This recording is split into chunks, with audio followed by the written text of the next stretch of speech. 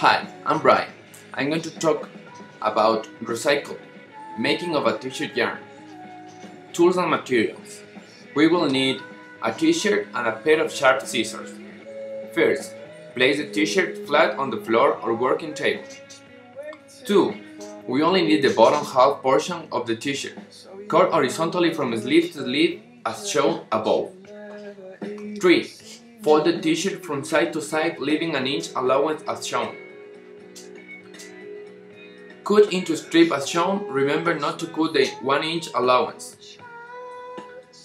Finish cutting the t-shirt from top to bottom evenly. Unfold the 1 inch allowance and it will look as shown below.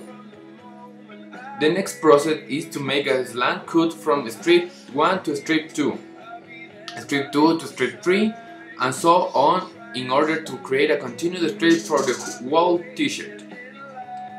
I purposely leave the first strip uncut until I have finished it all. No catch, just my preference to show you better how to slating looks like. Now I have a long strip of continuous t-shirt yarn waiting for the next process. Next is to turn the strip into a tubular yarn.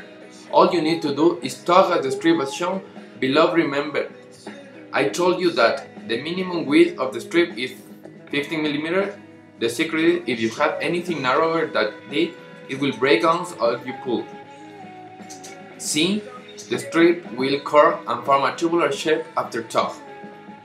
The strip has now turned into a tubular yarn, from fettuccine to spaghetti. You can roll your yarn into ball and it's ready for your next project. Happy yarning!